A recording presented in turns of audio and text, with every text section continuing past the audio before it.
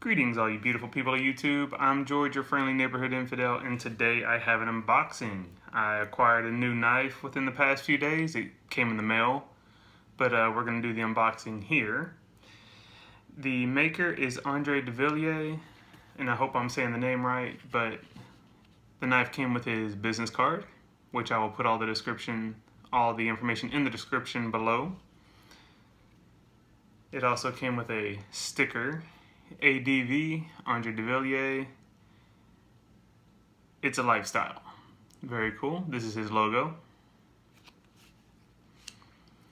The knife also came with a padded Velcro shut storage pouch if you were so inclined to store it in here. And of course it has the maker's name right there. Ah, like I said, I hope I said that last name right. I took a shot at it. But this knife came in a absolutely beautiful wooden uh, presentation box. It's got his logo on top. It's got, what's it got? Some nautical stuff on this side. An anchor over there. Skulls and more nautical stuff. Got the compass, just like, you know, my compass tattoo. And a couple of cross swords on the last side. And on the bottom, uh, it has his website as well as a pirate ship. The box is dovetail construction, and I do believe, if I'm not mistaken, I did pay a few extra dollars to get this box, but I love wood boxes, so that was just another selling point for me. Now for the main event. This knife, absolutely beautiful. It is a slip joint. Now, Andre makes a flipper version that's slightly bigger that I absolutely need to add to my collection someday soon. But for now, I got in when his books opened up on this slip joint version. The handle is bone. The bolsters are stainless steel.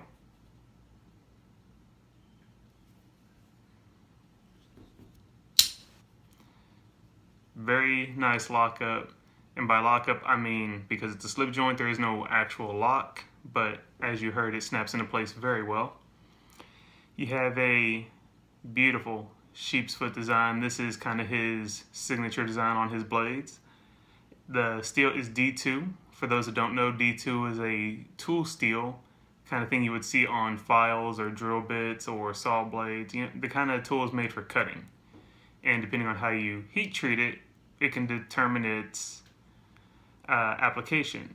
Now, I'm not sure what the heat treat is on this one in particular, but Andre's knives are legit, so I have no doubt this thing is very well heat treated. But uh, you have, this is called the Pocket Butcher, which you have uh, right there. I'm not sure if this camera's gonna focus but then you have his name stamped on the blade. An absolutely beautiful knife. Uh, forget the blade length. One, two. It could be three inches. It could be two and three quarters to three inches. You know, on a slip joint, you're not going to want a overly huge blade, but uh,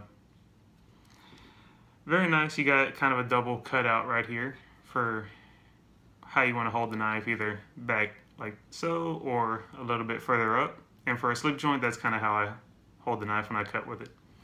Love the sheep's foot design. Perfect for opening boxes and whatnot because it kind of had that razor blade shape to it. Uh, it tapers down towards the end. Has a very nice lanyard hole, and I'm not really one for lanyards, but I tell you what, if I can find a nice, maybe copper bead, I may put a lanyard on this thing. Absolutely beautiful knife.